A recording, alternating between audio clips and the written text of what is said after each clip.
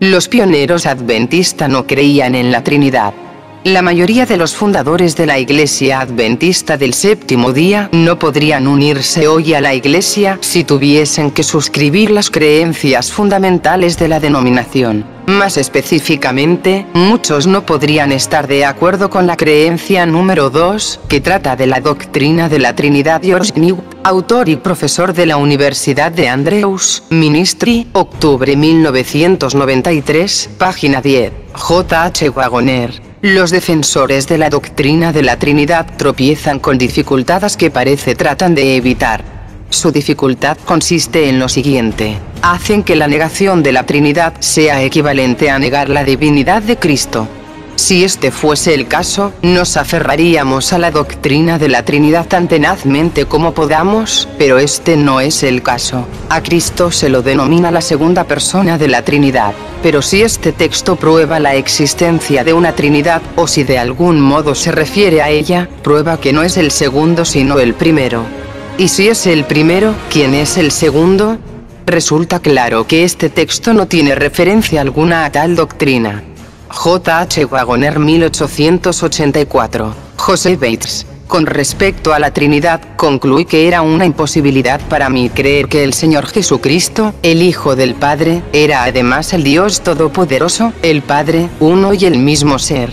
Le dije a mi padre, si me puedes convencer que en este sentido somos uno, de que tú eres mi padre, y yo tu hijo y que también yo soy tu padre y tú mi hijo, entonces puedo creer en la Trinidad.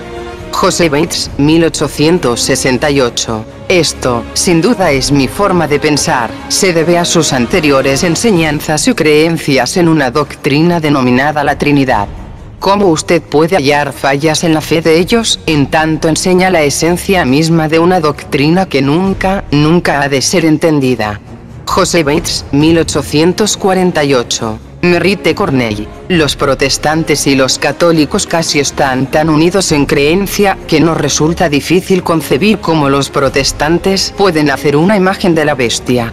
La mayoría de los protestantes creen, como los católicos, en la Trinidad, la inmortalidad del alma, la conciencia de los muertos, la recompensa y castigo al morir, la tortura sin fin de los malvados, la herencia de los santos más allá de los cielos, el bautismo por aspersión, y el domingo pagano en lugar del sábado, todo lo cual es contrario al espíritu y letra del Nuevo Testamento. Seguramente entre madre e hijas existe una notable semejanza familiar. M. E. Cornell, 1858, Hechos para los tiempos, página 76. Jaime Guay. Jesús oró para que sus discípulos sean uno como él era uno con su Padre. La oración no contempló a un discípulo con doce cabezas, sino doce discípulos hechos uno en objetivo y esfuerzo en la causa de su Maestro ni tampoco Padre e Hijo son partes del Dios triuno, ellos son dos seres diferentes, sin embargo, uno en el plan y logro de la redención. Los redimidos, desde los primeros que participan en la gran redención, hasta el último, todos atribuyen el honor y la gloria y alabanza de su salvación, tanto a Dios como al Cordero. Jaime Guay, 1868, Life Incidents, página 343 porque hay ciertos hombres, o una cierta clase que niega al único Señor Dios y nuestro Señor Jesucristo. La forma como los espiritualizadores han desechado o negado al único Señor Dios y nuestro Señor Jesucristo, es primeramente empleando el antiguo antibíblico credo trinitario, a saber, que Jesucristo es el Dios eterno, aun cuando no tienen ni un pasaje para apoyarla, en tanto nosotros tenemos el simple y abundante testimonio bíblico, que Él es el Hijo del eterno Dios. Jaime Guay, enero 24, 1846, de Daystar. Aquí podríamos mencionar la Trinidad, que desecha la personalidad de Dios, y de su Hijo Jesucristo. Jaime Guay, 11 de diciembre, Review General, volumen 7, número 11. J. N. Andrews. La doctrina de la Trinidad fue establecida en la Iglesia por medio del Concilio de Nicea del año 325 después de Cristo. Esta doctrina destruye la personalidad de Dios y de su Hijo Jesucristo nuestro Señor. A. J. Denis. ¿Qué contradicción de términos se encuentra en el lenguaje del credo trinitario? La mayoría de los fundadores de la Iglesia Adventista del Séptimo Día no se hallarían en disposición de unirse hoy día a la misma si tuvieran que demostrar su adhesión a las 28 creencias fundamentales. Concretamente, no estarían dispuestos a aceptar la creencia número 2, que trata de la Trinidad. Para Joseph Bates la Trinidad era una doctrina ajena a las escrituras, autobiografía, 204-205. Para Jaime Guay era esa vieja y absurda teoría trinitaria. Review Herald, 5 de agosto de 1852. Para M. Cornell era fruto de la gran apostasía, y se podrá juntar a las falsas doctrinas de la observancia del domingo y a la inmortalidad del alma, Facts for the Times, página 76.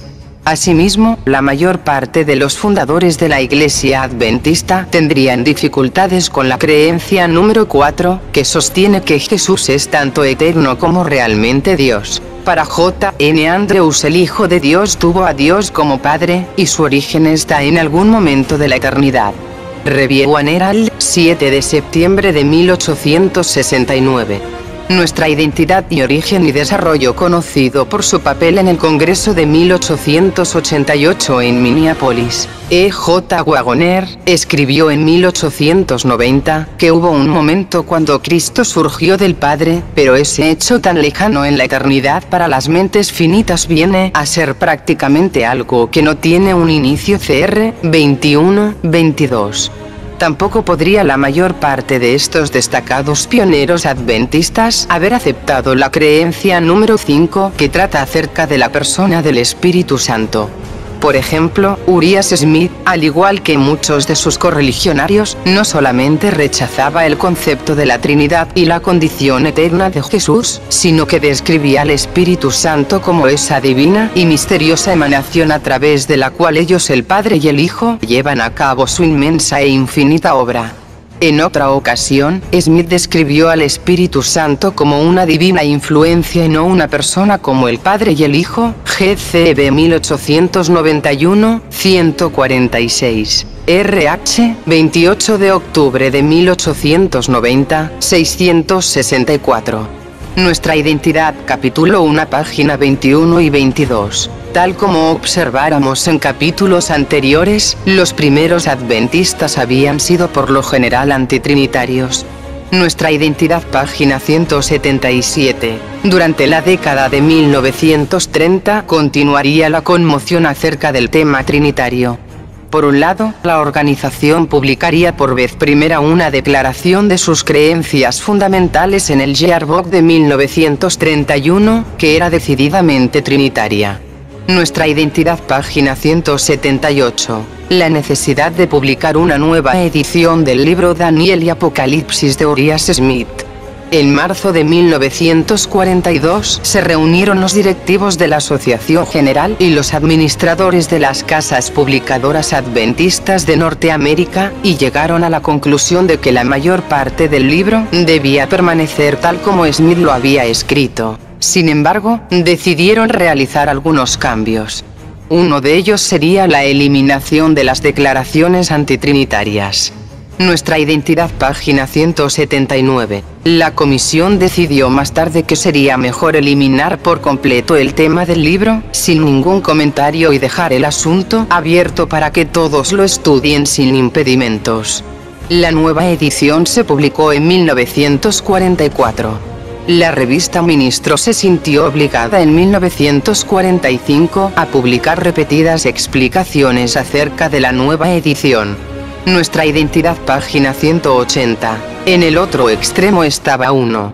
S. Washburn, que todavía discutía con Prescott a causa de la novedosa interpretación del continuo de Daniel 8, y a quien acusaba de no ser un verdadero adventista del séptimo día por su creencia en la Trinidad. En 1940 Washburn diría que esta monstruosa doctrina importada del paganismo a la Iglesia romana papal, está tratando de implantar su maligna presencia en las enseñanzas del mensaje del tercer ángel. La propia Trinidad, afirmaba, es totalmente ajena a la Biblia y a las enseñanzas del espíritu de profecía. La revelación no nos muestra la más mínima indicación acerca de ella. Esta monstruosa elaboración pagana no pertenece al libre universo de nuestro bendito Padre Celestial y de su Hijo. Nuestra identidad página 179.